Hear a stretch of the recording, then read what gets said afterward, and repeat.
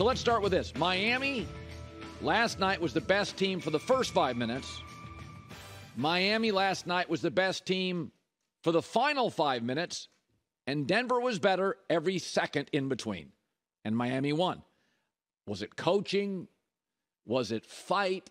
Was it focus? I don't know. But I think it is what a great culture provides. And Miami has that, which is you're at your very best in these high leverage moments for years and years. I lived out in Connecticut. I watched it up close and personal for a decade. It lasted 20 years. It always felt like the Patriots were better early on that first drive, would take a lead, and they were way better late. Often outplayed in the big chunks in the middle of the football game. Not always the most talented team. Start with a lead, very good late. That was the Patriots' way. And that was last night for Miami in these high leverage situations. But what is interesting to me is that we view football as not as dependent on stars. It's a community, right? Playing together, choreography. But the minute Brady left, the culture died. And yet, here the Miami Heat in the NBA, a talent and star dependent sport. Shaq left, they're fine. LeBron left, pretty quick, they're fine. D Wade left, they're fine. It's the basketball franchise in the star driven sport, in the star dependent sport. It's that culture, not the Patriots, that survived the loss of great stars. And I think what's happening when I watch the series, it's becoming a little bit of an analytic series. Miami doesn't have the size. They're going to shoot more threes. And last night they hit them. What's concerning if you're Denver is in both game one and game two, Miami got great open looks from outside. They just couldn't make any in the first game. Understandable. They didn't have their legs. They went up to 5,000, 5,100 feet in Denver. They did not have their legs extra days rest on the road, get acclimated. What did they do last night? Great from the outside. Now, Denver is a more length driven team, more twos. So, Denver's probably in this series going to be the more consistent offense with fewer peaks and valleys. Miami will have those, but it doesn't mean they're not the better team. So, when I watched it yesterday, my takeaway was they still have a Tyler Herro advantage. Miami's doing this without arguably their best three point shooter. Now, he, hadn't, he hasn't played yet. So, what you get from Denver is what you get. Miami stole home court advantage, and they got a secret weapon they can insert at any time. They will eventually, when we don't know. So, it's two very different styles of basketball. The bigger, lean in on the twos, the dominant center score against the team on the perimeter that will have ebbs and peaks and valleys and ebbs and but last night they hit them early and late. And it's such a chess match. What was interesting to me is whereas Spo probably won 3 games on coaching alone against Joe Mazzulla, he may win one game as the best coach in the league in this series. Mike Malone knows what he's doing though. And what was the first thing he did? He didn't wait until tomorrow's practice. He didn't wait until his team got to Miami. Mike Malone, his turn to make a chess move. And what did he do immediately after the game? He didn't even wait until they got to Miami. He wants the Denver Nuggets go home, think about it, get on that plane, realizing they were outfought. They didn't play as hard. The classic Phil Jackson right after the game, send a message to either the officials or them or your own locker room.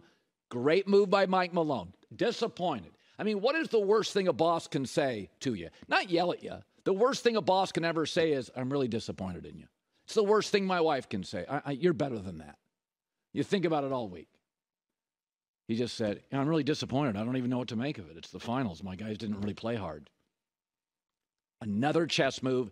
And now you've got, Spo's probably the best coach in the league, but you've got closer to two equals in the Denver staff and the Miami staff. My guess is Denver goes back and wins game three in Miami.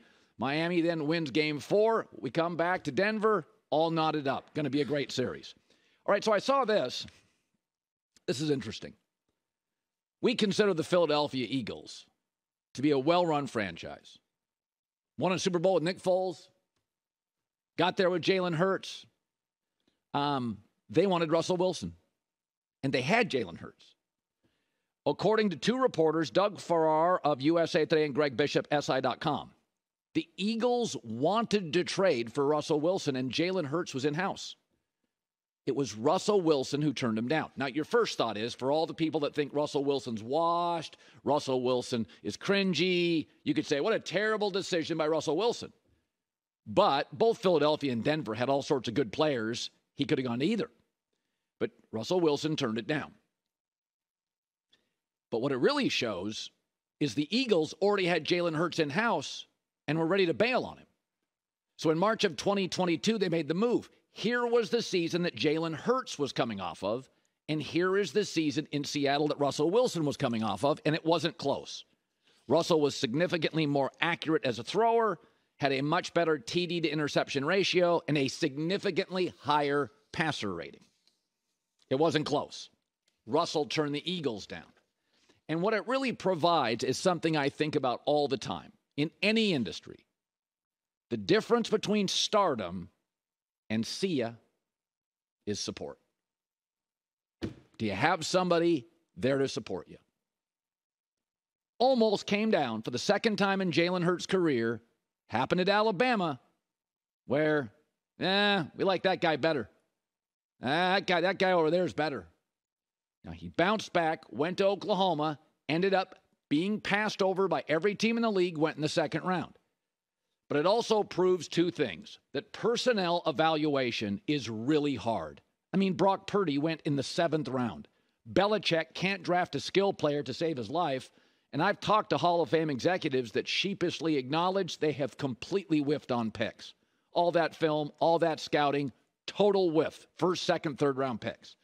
That's the first thing. The second thing the hardest position to figure out is quarterback. And the reason Jimmy Johnson once talked about it on this show is that quarterback is highly reliant on two factors that are really hard to quantify leadership. I once asked Jimmy Johnson, uh, Troy Aikman, great leader, what is it? He goes, I don't know. I don't really know. I don't really know how to explain Troy Aikman. He was just a really good A. He was a really good leader. I can't quantify it. And the other thing is resilience not to pout, not to go in a corner. You get beat up, you get benched, resilient, come back stronger than ever. So, Howie Roseman, GM of the Eagles, one of the best GMs in the league, has gotten to two Super Bowls with quarterbacks nobody liked Nick Foles and Jalen Hurts. And we now discover not even Philadelphia was sure they liked Jalen Hurts. The difference, again, in almost every industry between stardom and see you later is just support. Moments of support. My dad often said, Your career will be decided when you're not in the room. Lubricate, don't agitate. In the end, they were ready to move off Jalen Hurts, and now the city loves him. Gets along with people, works hard, very resilient, leadership skills, didn't pout, probably knew about this, by the way, before the reporters did. I'm sure his agent knew about it and he knew about it. Jalen Hurts didn't pout. Jalen Hurts didn't care. Jalen Hurts didn't hold a grudge. Jalen Hurts wanted to prove that he was worth the risk, and he is. Hi, everybody. Thanks for watching. Subscribe here to get the latest from the show. Also, be sure to check out more of the best clips from The Herd or go watch a few segments from other shows on FS1.